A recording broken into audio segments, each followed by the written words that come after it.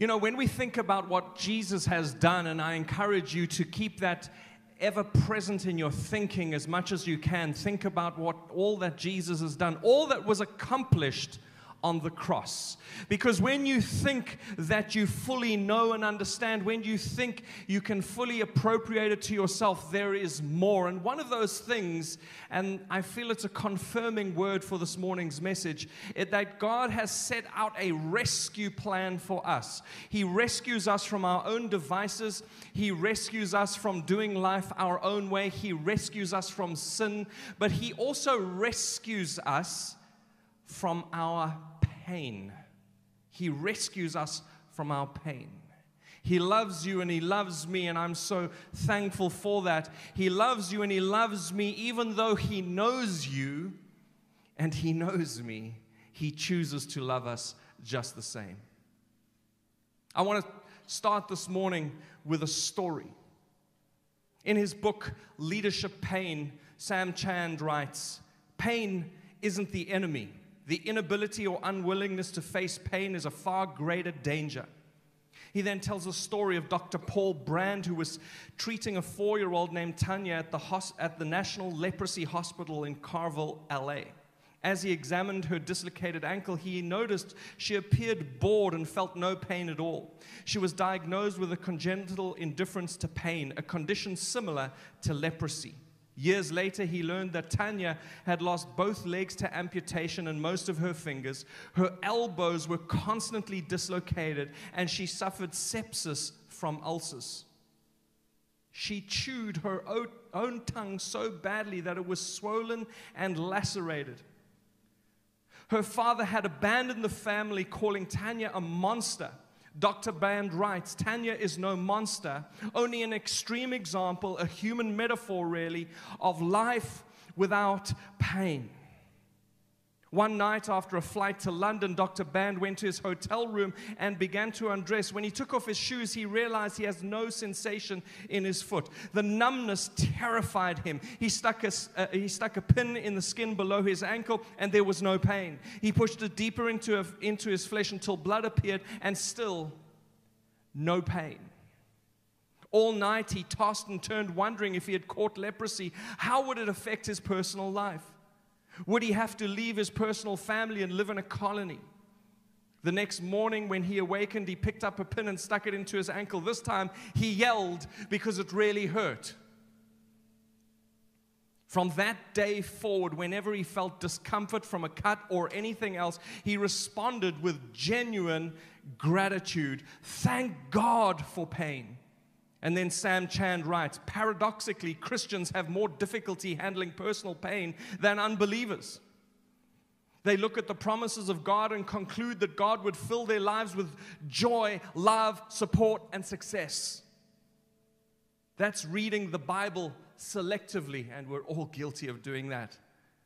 The scriptures state clearly and often the enduring pain is one of the ways, perhaps the main way, God works His grace deeply into our lives. People strive for happiness in their lives, but are formed through suffering and often at the hands of criticism.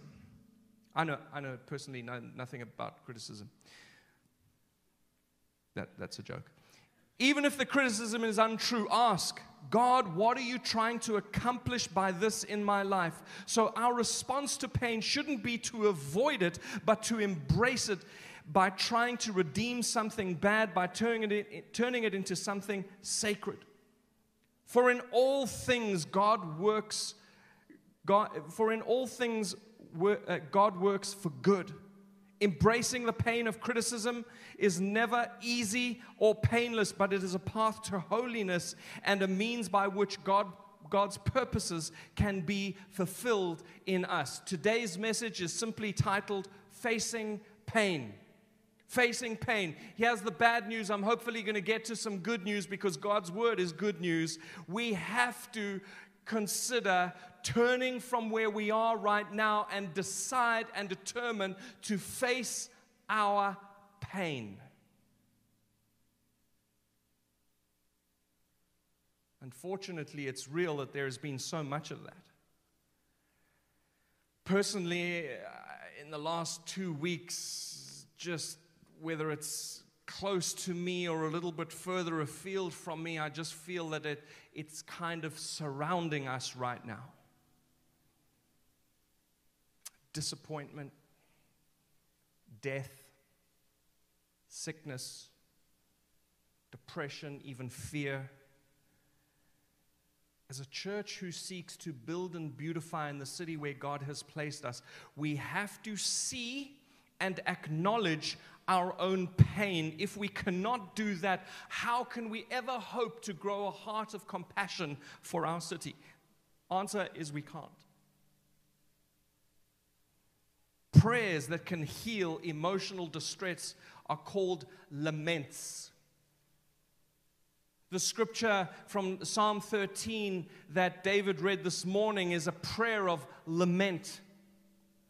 A prayer of lament is a prayer of pain, of hurt, and of struggle. Why would we neglect to go to God with those things, the one who died for us, the one who is called the lover of our soul? Why would we neglect to go to God with those things?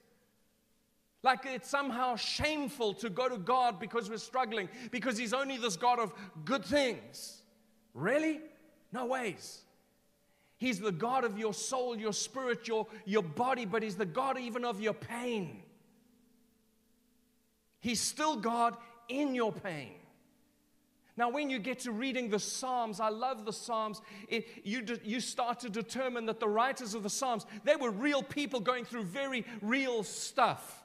It was all going on all around them. Even sometimes in one psalm, you see them going from, oh, it's so terrible. My enemies are terrible, but you are, you're good, Lord, and fantastic. You know me in my innermost, Lord. Eh, you, you think, what is going on with these people? Can they just keep track of their emotions? You understand that these are written by real people, just like you and I. A third of the Psalms are prayers of lament, honest and vulnerable and raw. A prayer, of, a prayer of lament, rather, has three key parts. First, you recount your pain. So, for you and I, especially for the men, you know I'm talking to you. Your wives are busy nudging you right now. You recount your pain. In other words, you, you talk about it. You talk about what's, what's causing you pain, what, what's causing you difficulty in your life. And then the next part of, of a lament is you recall God's character how good He is, what He's about, what He's done, what He can do, what He will do. And then you resolve this was the third part of a lament you resolve to trust God.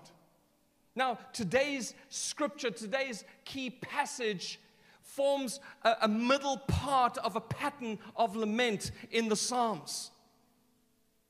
This part, this portion that I'm going to read to you is recalling the character of God. And it goes like this The Lord is my shepherd, I shall not want. He makes me lie down in green pastures. He leads me beside still waters. He restores my soul. He leads me in paths of righteousness for His name's sake. Even though I walk through the valley of the shadow of death, I will fear no evil, for you are with me. Your rod and your staff they comfort me. You prepare a table before me in the presence of my enemies. You anoint my head with oil. My cup overflows. Surely goodness and mercy shall follow me all the days of my life, and I shall dwell in the house of the Lord forever. As you well know by now, that is Psalm 23. The reality is, is because we just live in the world and it's a fallen world, we get hurt we experience pain. Not only physical pain, but spiritual and emotional pain. It's part of our existence. I know for sure that in a room like this, even online, you, you watching online, if I had to ask you to indicate who in this room has never felt pain, I wouldn't even get one hand. That's just the reality of our existence as we live out our faith in this, uh, the enemy's territory. We get hurt physically by accidents, disease. We get hurt emotionally by disappointments, by relationships. Oh. Sometimes people hurt us accidentally. Sometimes they do it intentionally with purpose behind it. Psalm 23 and verse 5, remember what it says You prepare a table before me in the presence of my enemies, you anoint my head with oil. Now, I don't know about you, but we have to look at how we all handle our hurts. The reality is, and it's very unfortunate, is that we often don't handle our hurts in the right way. We tend to mess it up. If we had to examine how we handle our hurts, it, eh, it, the picture would be really like a large rug in a living room, but it was sitting about this high off the ground because of so much that has been swept underneath that rug. That's how we normally tend to handle our pain. Frankly, friends, and I'm, I'm being encouraging here, that's dysfunctional. It's not going to help you. It's not going to help anybody around you. It's not going to help those who you love. It's not going to help you in your relationship with Jesus. It is just not good. There are right ways and wrong ways to deal with pain. I want to first major on some of the wrong ways that we tend to deal with pain. I've, I've kind of inferred it already, but we tend to ignore it, don't we? We, we ignore it. You know, it's that macho approach. I'll just suck it up. I'm tough. I'll move on. I'll just pretend it doesn't exist. I hope that it'll go away. We try to deny it. Well, it didn't hurt me. I'm not mad. I'm fine. I'm fine. Everything's fine. Everybody's fine. It'll be fine. Maybe we delay it. You know, you don't get mad in the moment, but you start to think about it. You go through it, uh, through it in your mind, and, and you resolve in your mind, I'm not going to get mad. I'm just going to get even. But there's a delay on your pain. Or you minimize it. You minimize it. It's, it's not a big deal. You may think it's a big deal. For me, it's not a big deal. And, and what you are not saying, but you definitely mean, is I'm tough. I can deal with this. It's really not a problem. I'm not offended at all. You see, ignoring your pain doesn't heal your pain. Did you know that? I don't know if you've ever got a, a, a deep cut in your flesh. Just sim- simply leaving it there and ignoring it is not necessarily going to help it. Oftentimes, when there is a wound, leaving it just means that any infection that is there just grows worse. And oftentimes, with pain, emotional pain and spiritual pain, it lands on us, and immediately there's an infection. It affects who you are, it affects your spirit, it affects your soul, it permeates deep into who you are and your whole person. So, just simply leaving it and hoping that time will heal all wounds, that's something we know very well. It really that's a way, I guess, that we can try and resolve our pain. But I promise you, and I'm here to say to you this morning, that's really not going to work. Denying it, delaying it, minimizing it, ignoring it, that's not healthy for you.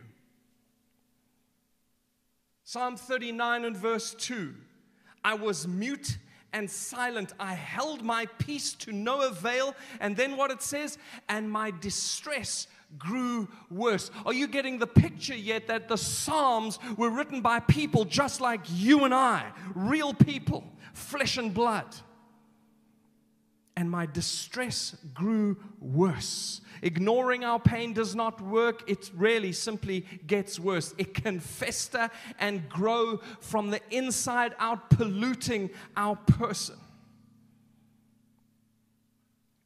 You may be walking around and have been hurt and injured and criticized and disappointed and all those kinds of things. You think you've got over it, but you really haven't. You think you got over it, but everyone else around you go, there's something off. Because especially when we try and ignore things and hide things, it, regardless of what you want to portray, it doesn't matter. It comes out of you. You can't help it. It's in your facial expressions, it's in your posture, it's in your eye contact or lack of eye contact. It comes out of you. It's the way you speak or speak about a person or persons.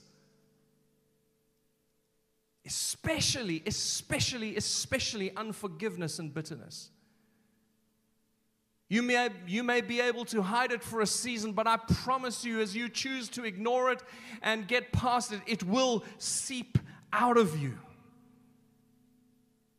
Jesus makes it clear of how it impacts us. Matthew chapter 12 and verse 34. You brood of vipers. That's a good way to start. You brood of vipers, how can you speak good when you are evil? okay, Jesus, we're listening now. And then he says, For out of the abundance of the heart, the mouth speaks. So, whatever's here, whatever your heart is full of, whether you try, you can try so hard, you can try and hide, you can try and ignore or deny. No matter what happens, it's gonna take, it's, it's gonna make its way and most likely come out of there, especially when you're pressed or under pressure. For out of the abundance of the heart, the mouth speaks. Ignoring our pain will not work. The other thing that we tra- tend to uh, try and do is we just try and run from it. We run from it. We'll just move away. We'll just get away, escape, retreat. It's human nature. When we feel pain, we go into that, we, we, we, we go into that posture, don't we? It's either fight, flight, or fright. It's our response to pain or, or crisis. Often, what we do is flight. We get away, we move away, we get into a place of so called safety. Look at what it says in Psalm 55 and verse 6. And I say, Oh, that I had wings like a dove. I would fly away and be at rest. Yes, I would wander away. I would wander far away, rather. I would lodge in the wilderness, Selah. I would hurry to find shelter from the raging wind and tempest. When people are hurt, when people are in pain, they run. I could tell you stories of all the years I've been a follower of Jesus, all the years that I've been leading in some capacity in church, that people have gotten hurt. And now they're not in church anymore because of that hurt and because of that pain, because they tried to deny it and that didn't work. And eventually, what they did was just run. And you know what? Sometimes the worst case scenario, it really didn't go well.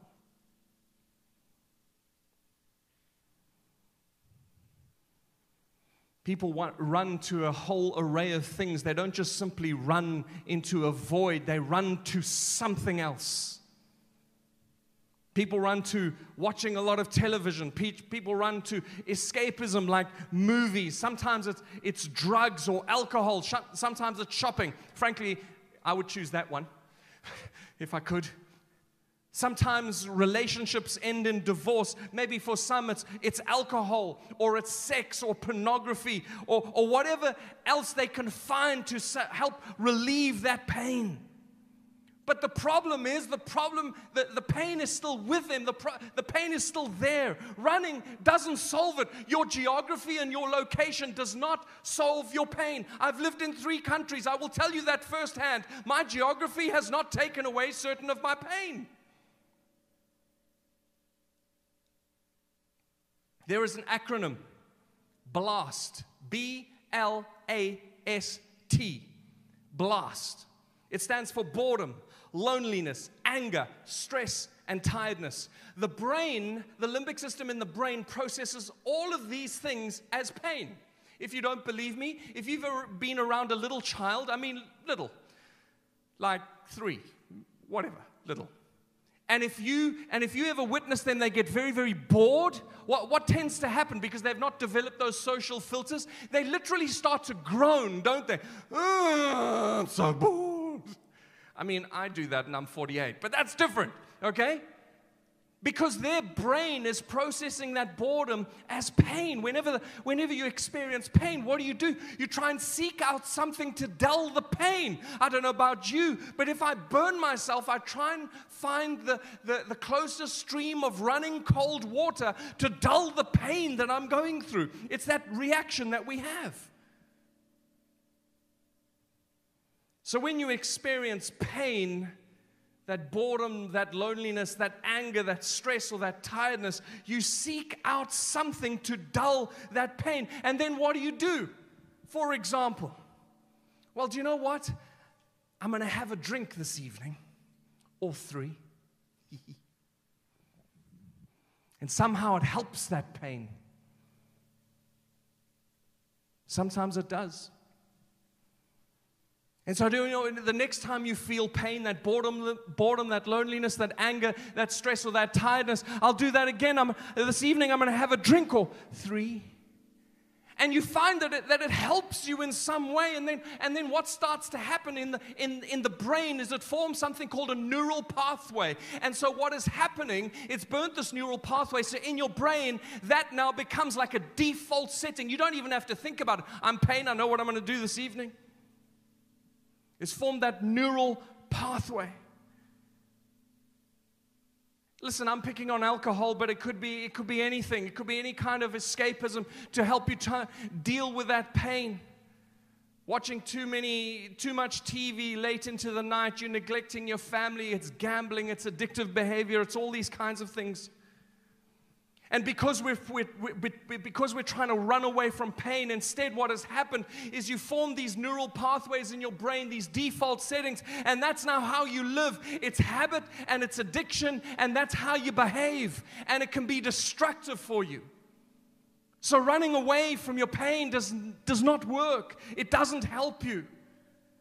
So, uh, the other thing that we try is we try and hide from it. Yes, I'll, I'll, just, I'll just hide from my pain.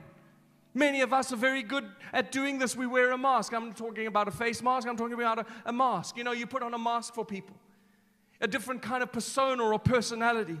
We don't tell anybody that we're hurt. I'm fine, you're fine, everything's fine, everything's gonna be fine, I'm fine. We, come, we become good, we become quite conditioned then at camouflaging our pain. We, we, we, we, we, we, we have devices that can hide it and cover up when we're feeling pain or we're feeling it more than we did yesterday. We don't like to admit that something or someone has hurt us, has hurt our feelings, that has impacted our impacted us deeply, our spirit and our emotions.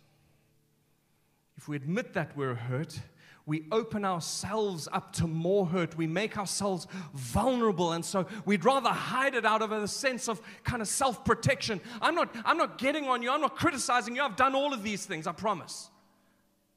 Just to be clear, my thing when I ran from it was Netflix, okay? Just to help you out.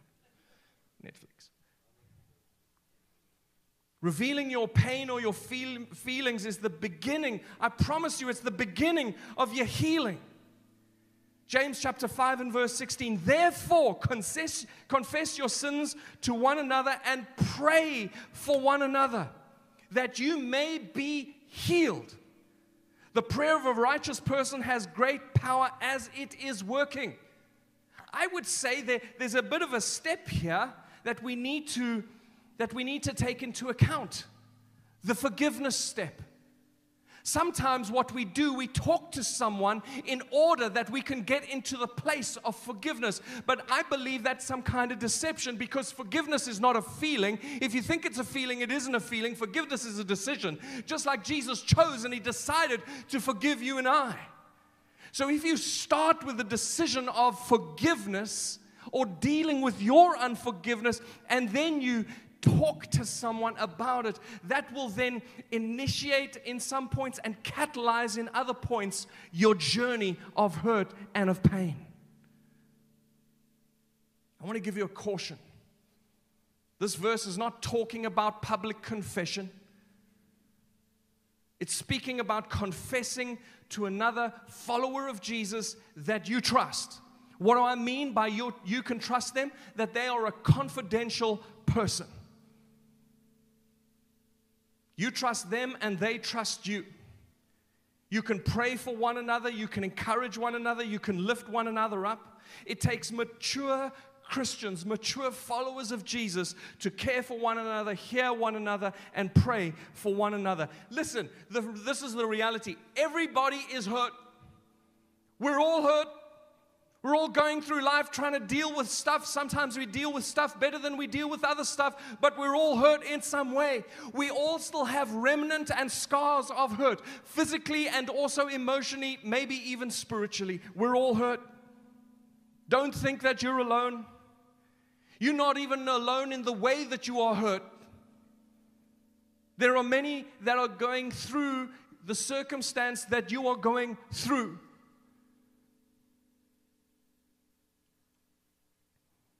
First John chapter 1 and verse 9 walk in the light as he is in the light oftentimes when we discuss things and talk to one another that's why, we, that's why we're trying to foster community in the church that we can speak to each other and trust one another and, and encourage one another, that those things that we live with, that pain that we live with in the dark, that we can bring it out into the light. When it's in the dark, do you know who, who doctors it and, and, and, and takes care of it?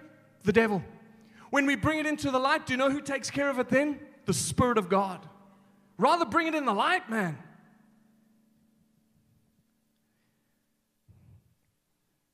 Share your hurt in a place that is safe, and healing will begin. Hiding has never helped anyone. The other thing we do so well, it's like a, a 21st century badge of honor that if we don't do this, people ask, What is wrong with you? We worry over it. Worry has become a badge of honor. I'm concerned, I'm worried, I'm stressed, I'm anxious, I'm busy, whatever. Worry, it's like this badge of honor that we wear. We hover our hurt like a mother hen hovers over her chicks. Worry, if you think about it like this, is an attempt to control what is not controllable. There are things in your life that, friends, unfortunately to say, you cannot control. That was very upsetting to me, by the way. It's part, I'm not even joking, I'm admitting something to you right now. It's part of the reason why I'm terrified of flying. It's because I'm not driving the plane. I'm being deadly serious. I don't know what's going on. I don't know what those noises are, those sounds are. I know that when they take off, they're meant to hit the, the switch for their fuel reserve and all of that. I'm thinking, Lord Jesus, I hope they've got their finger on their switch just in case. And the fact that I'm not there in the cockpit to make sure that everything's going okay as it should be totally freaks me out, and I'm terrified of flying. That's called public confession right there. Thank you. Worry is playing the pain over and over and over again in your life. Here is what God tells us, however, Colossians chapter 3 and verse 2 Set your minds on the things that are above. I mean, I thought I did that by, you know, trying to control the flying thing, but that's not what he meant. Set your things on, th- set your mind on things that are above, not on the things that are on the earth. For you have died, and your life is hidden with Christ in God. Did you ever notice that Colossians even tells us why we should set our mind on heavenly things? Because you died. Now, what that means is we've died to self. When we fully died to self, we have to rely on Christ. And your life is hidden with Christ. Think about, think about that. It's hidden, it's covered, it's protected, it's sheltered, it's hidden with Christ in God. If Jesus is really in charge, why? Why then should I worry? I've heard worry being described as practical atheism. Harsh, but if you start to think about it, you understand.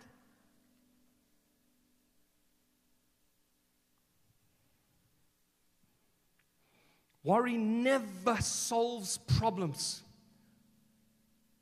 It never heals hurts. The more you worry about something, the bigger it becomes. Worry never ever adds anything. It never adds anything. It only takes away, and worry can't help you. The other thing we do, we become bitter. We, come, we become bitter about our pain. Bitterness doesn't make you better, I promise you that. We, we, we call it being sensible. We're calling it not, you know, we, uh, we're just not going to trust them again because they'll just hurt us again. We call it all kinds of things. We assign it all kinds of duties in our life that just make sense. But really, what it is, it's bitterness. We get angry and then we clothe ourselves with the self pity. Well, I'm just protecting myself. I'm just being wise. I'm being intelligent. I'm, I'm using the wisdom of the Lord. Nonsense. You're bitter. Bitterness hurts you more than it does anybody else. It's self destructive behavior.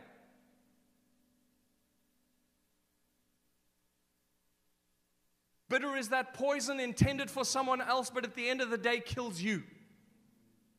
It develops you into a certain kind of person with a certain kind of posture, with a certain kind of outlook in life. I promise you, no one enjoys when you are bitter. No one. James chapter 1 and verse 20 For the anger of man does not produce the righteousness of God. No matter how well, no matter how well you know the word of God, it does not produce the righteousness of God. Anger and bitterness will never heal hurt. What does heal your hurt? Psalm chapter 23 and verse 5. Here's some ways that we should deal with hurt. What does it say in verse 5 of Psalm 23? It starts off with a very key word. It says, You. You prepare a table before me in the presence of my enemies. You anoint my head with oil, my cup overflows. Each time you is there, it's with a specific plan. It's the Lord Himself that we're calling you. He is the one that can heal your hurt. So, how do you allow Him to do that? I'm glad you asked. You need to let Him protect you. You need to let Jesus protect you. That three letter word right there is let. It speaks of permission. You go right back to the book of Genesis. If you want to see how man has developed to where they are, you go to the very beginning. It's the beginning, it's the book of beginnings. What did he do? He never he gave them free will and he never went against their free will. So, for you and I, where you are and what you're dealing with and the hurt that you're feeling right now, you need to let Jesus protect you. You need to give him permission, give him room to be able to protect you. We are the sheep of his flock. I don't know how often or how much time you've spent with sheep, but there's a few things that I know is that they have many enemies. Many enemies wolves, coyotes, bears, ticks, snakes. They're utterly defenseless animals. They really are. Did I mention how stupid they also are? But that's a different side of things. They don't run fast. Although, interestingly, I tried to catch one once, outran me. Don't know what to say about that. But they just, they don't run that fast. They're not a cheetah. They don't have sharp teeth. They don't have claws. They don't have a powerful hoof that they can swing around and hurt someone or uh, predators. They need protection. Where do they get their protection from? Their protection comes from the shepherd. We are his sheep and we need to let him protect us. The job of the shepherd is to lead, it's to feed, and it's to oversee.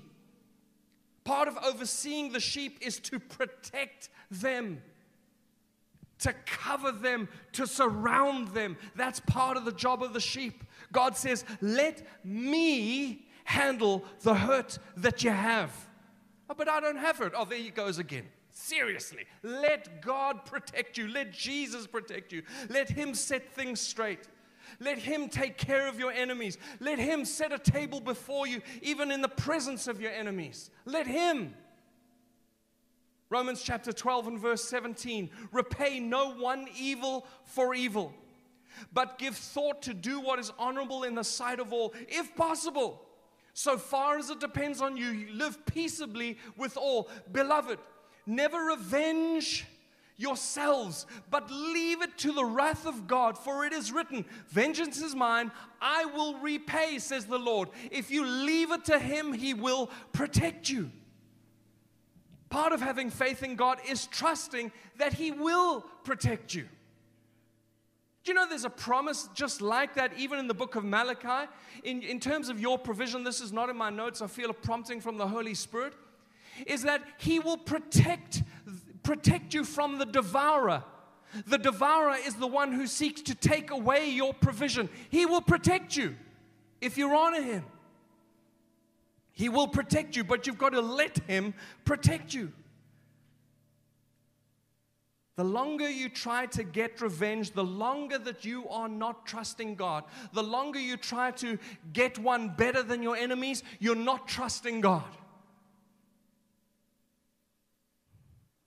Then you need to let Jesus heal you. What does let speak of? Permission. Imagine going into a doctor's room and they want to heal you, but you don't let them heal you. You punch and kick them when they come near you with any sharp object or with a stethoscope or with the opinion of what is wrong with you. That doesn't make sense, does it? I'll go to a doctor's room, I want to be healed, but don't do anything. It's stupid.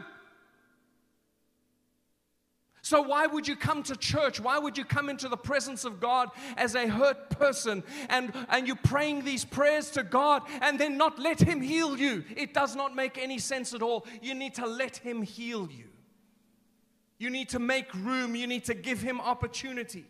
You need to be real and vulnerable and raw and honest with Him. You know, there are two reasons that shepherds put oil on the heads of sheep. Firstly, to soothe, and secondly, to heal. I forgot one enemy that a sheep has that you've maybe overlooked. I definitely did flies. Frankly, they're my enemy too. Don't even get, I get triggered when I talk about flies. Like when I go to heaven, I'm like, Lord, we need a chat. Flies, mosquitoes, gluten, talk to me. But they have two enemies. I mean, the, the, this one key enemy it's like their worst, which just flies. They bite them, they get irritated by these flies. The, the, these flies will bite the heads of sheep so much and so badly that the heads of sheep will start bleeding, and then that bleeding will attract more flies. These little things can cause so much discomfort, so much pain, and so much irritation. And what the shepherd does is he takes olive oil and mixes it with a bit of sulfur, and he puts that mixture on the head of the sheep as an insect repellent, and that keeps the flies away. You see, look, look, look at the job, look at the work of the shepherd to the sheep. The other way that the oil is used is like an ointment. When the sheep would have an open wound, the shepherd puts oil on it and it helps the healing process and it takes some of that irritation and pain, it takes it away. That's the job of the shepherd. Psalm 147, he says, He heals the brokenhearted and he and binds up their wounds. He binds up their wounds. That's why the process of mourning is so important that you could start to let Jesus heal you so that He could do the work of healing in your life. And I'm not just talking about mourning after death, I'm talking sometimes we need to take time and mourn after hurt. We need to take time and mourn after disappointment. We need to take time and mourn after relational breakdown. Why? Because it hurts and it's and you've lost something and take time to mourn. We've built up this bravado that we just get through it and it. Yeah, yeah. I mean, this, uh, we need to take time.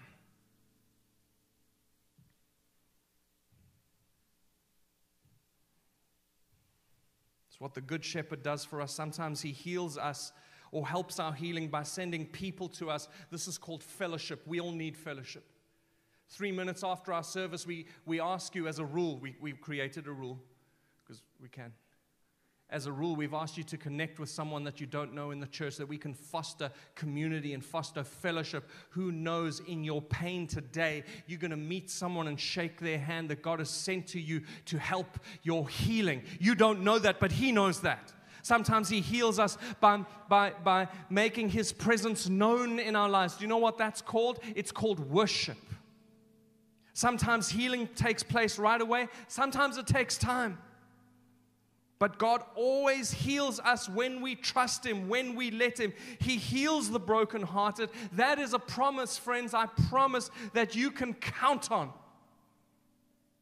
And even when we've been totally healed, unfortunately, and you know this very well, I'm sure that there are always, almost always, scars. The scars are often there, sometimes long after you've been hurt. Unfortunately, you see those scars, you're aware of those scars, you realize that you behave differently because of those scars. You know, recently,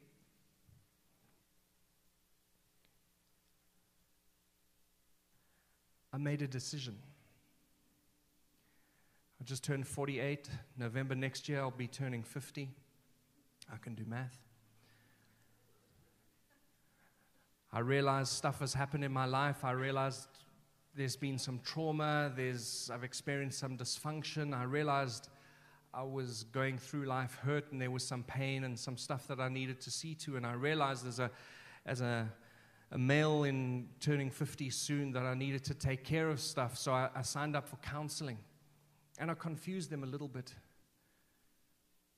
They said, What do you want to come and see us for? I said, uh, Well, it's preemptive. I'm not crazy yet, but I'm sure I will be someday. I'm serious. And so I signed up for counseling. And this is the reason why.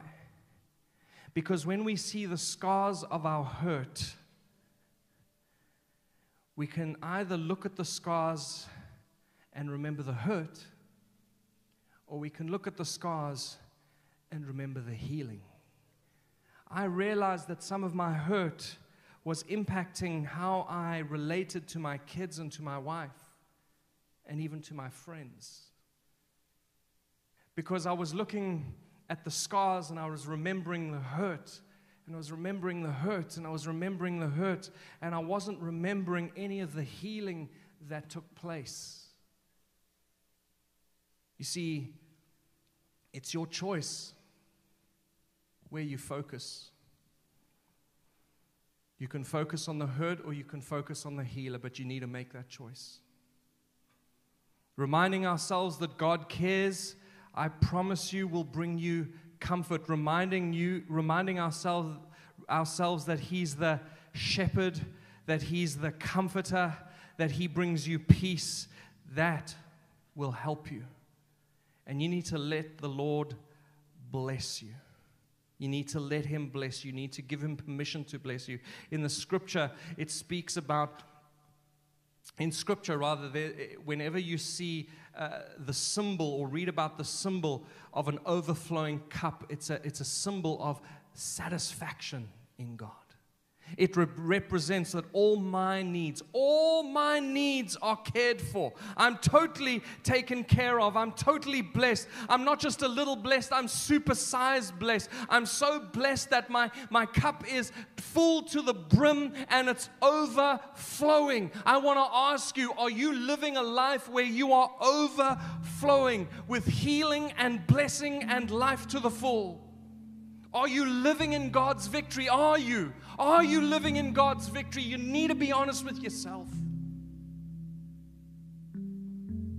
If you have Jesus as your Savior, if you're online or if you're in person, if Jesus is your Savior, that you're living in right relationship with Him, you're living an intimate relationship with Him, then you can make that claim and statement too that my cup is overflowing.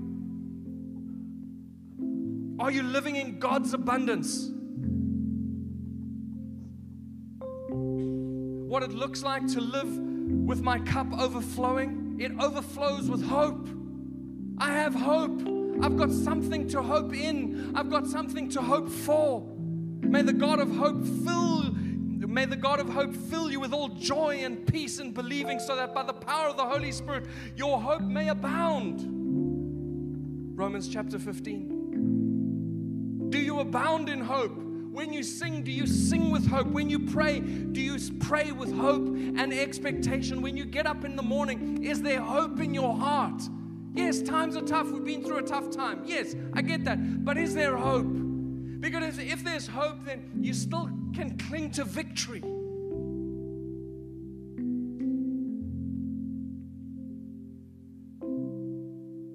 If you're a follower of Jesus, your cup overflows with love First Thessalonians, and I'm taking this very intentionally from the message. It says, And may the Master pour on the love so it fills your lives and splashes over on everyone around you, just as it does from us to you. I tell you, when you are overflowing with love, people are going to know you by what you bring into a situation. Is your cup overflowing with love? Does your cup overflow with joy? John chapter 16 from the message again. Ask in my name. according to my will, and He'll most certainly give it to you. Your joy will be a river overflowing in its banks.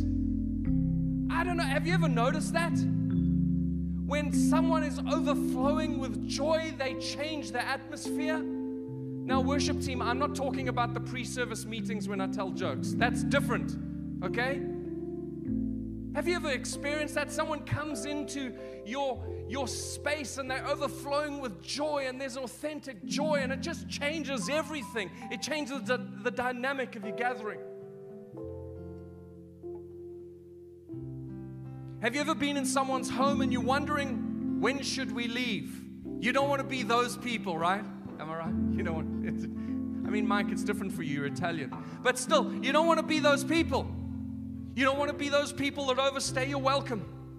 In the Middle East, they have a custom that they will continue to fill your cup as long as you're welcome. When they stop filling your cup, it's the same as Pastor Noel's indication putting on his robe and start hoovering. You, you know, okay, honey, we gotta go.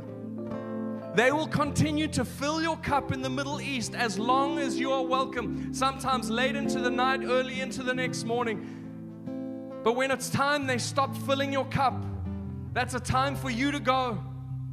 I want you to take that to heart this morning that God never,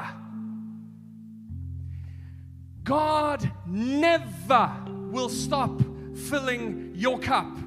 God will never stop filling your cup. You are always welcome in His house, always welcome. He has said, I'll prepare a table before a table for you in the presence of your enemies. No matter what's going on around you, He will fill your cup. He says, I'll anoint your head with oil. That cup will be overflowing and overflowing. God has caused my cup to overflow with hope, love, and joy. I need to cling on to that even when I don't feel it. What does your cup overflow with? The reality is is that if you're playing hurt, if you're doing life hurt and you haven't seen to that hurt, your cup may be overflowing, but it not, may not be hope, love, and joy. It just may not be. You may have allowed your cup to be just full of pain you may have been accustomed to it being full of unforgiveness and anger. Maybe you've just accepted that this is just who you are, this is the, how you're going to feel for the rest of your life. But wrong, that's wrong, that's wrong. We serve a healing God. Don't ignore it. Don't run from it. Don't hide it. Don't give in to worry. And please don't allow bitterness to be your portion. Let God in. You know, I'm teeing you up to something, right? You know, I'm preparing for you for where we need to go next. You see, that's how church works, don't you know? That we get into the Word and it speaks to us about the theory and what we ought to do. And then we have a time of ministry and we decide to do business with God. And that's the practical. That's the practical. And I'm saying to you this morning let God in. Let Him in. Let Him heal you. Let Him protect you. Let Him anoint you. Let Him fill your cup. Let Him in. Let Him deal with your heart and make it a soft heart. Pray a lament this morning. Recount your pain recall God's character, and resolve to trust Him this morning. Can you stand in this place, please? If you're online, won't you prepare your heart just to receive from God this morning? Why don't you close your eyes just as you're standing here?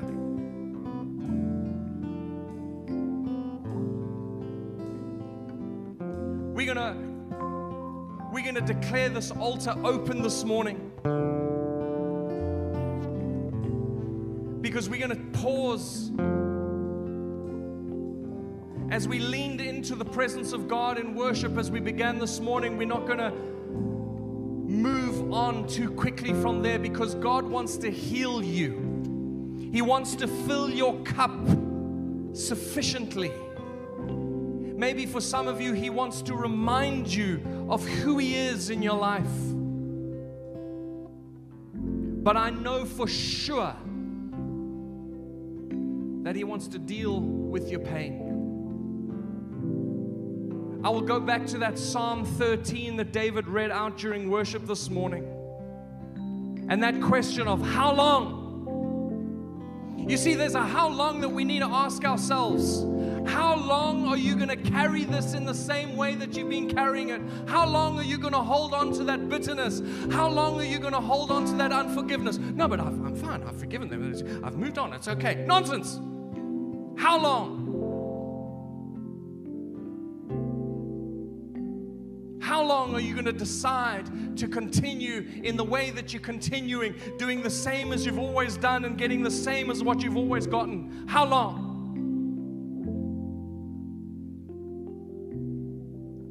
So I'm going to take a moment. The worship team's going to play. We're going to go into some worship right now.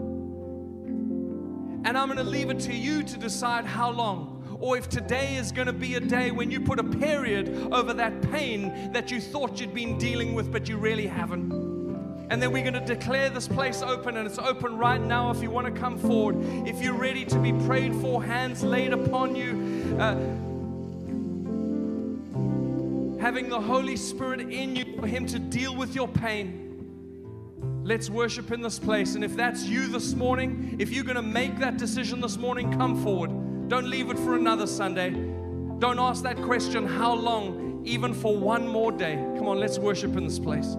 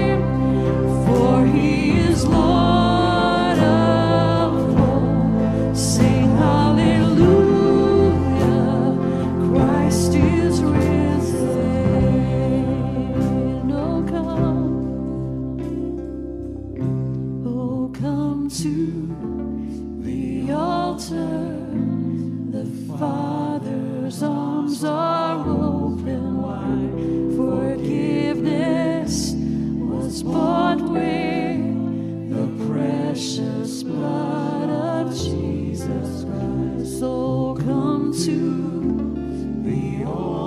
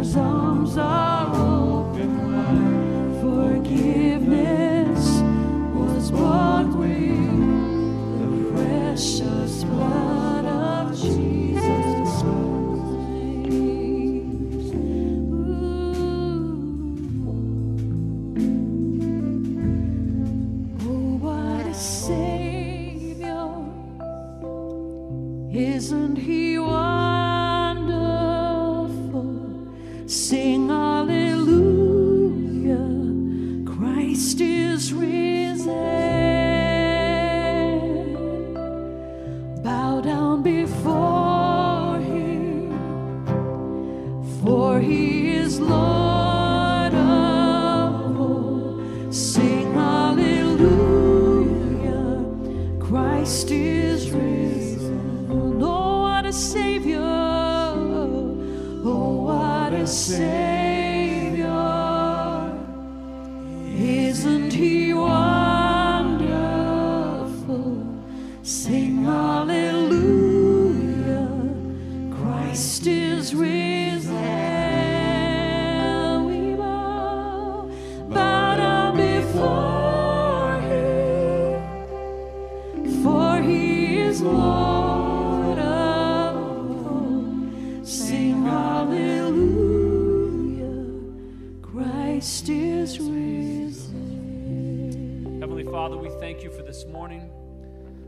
pray that the pain, the how long in each one of our lives, Lord God, would be impacted this morning, Father, and every day this week. Lord, we just hand these things over to you, Father. We trust that Jesus wants to heal, and Lord, we just need to let him heal. So, Lord, bless your people and anoint them, Father. Protect us, Lord God, in the name of Jesus Christ. Amen. Before we depart this morning, um, you know, I'm always tasked with doing the giving talk, and to be very transparent, the giving talk is very difficult sometimes, right? Because, you know, you're asking people to give to the church, and, and I shared the business meeting last week how incredibly blessed and prosperous this church truly is. But one of the things that's always been on my heart is for more people to give, not because we feel guilty to give. There's a couple reasons to give. Number one is the Bible tells us to, and Jesus tells us to put Him first and to put His kingdom first. But I think one of the most important reasons is just to love our neighbor, right? Because when you give to the body of Christ, when you give to the church, the church is a mechanism for impacting our communities and for loving our neighbors. And, and, and Dennis, Pastor Dennis shared a really interesting milestone of statistics with us this week, which I thought was very powerful. One of my favorite ministries in this church is Care Portal. I, I think most people would agree that's a pretty incredible ministry. Wouldn't you agree?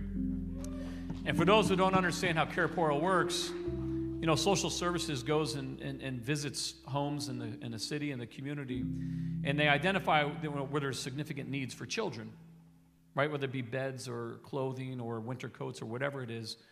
And the churches, you know, subscribe to CarePortal, and we meet those needs. The churches step up to meet those needs. So this week, one of the milestones that we reached as a church is we've served over a thousand children and had an impact of over $300,000 in our community.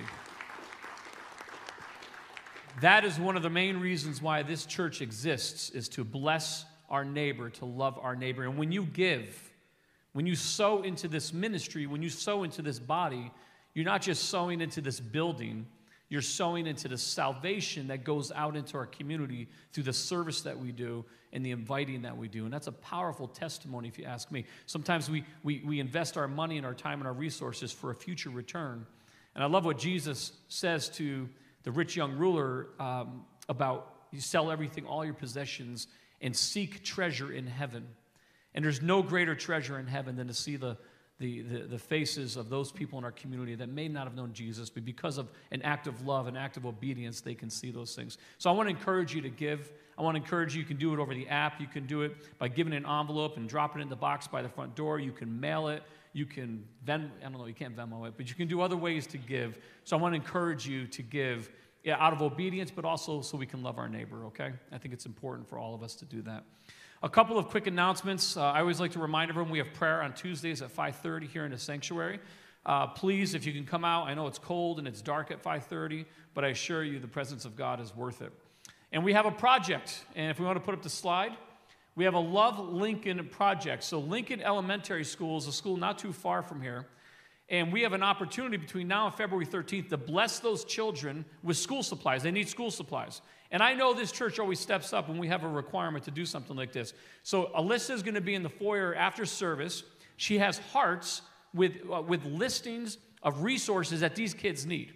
Right? So if you want to pick up a heart from her, and you can go buy and acquire something and bring it back to church anytime between now and February 13th, that's going to be really important. So I want to encourage you. There's no reason why we should leave this morning without with any hearts left in the foyer. There's no reason why we are so blessed and so grateful for everything we have.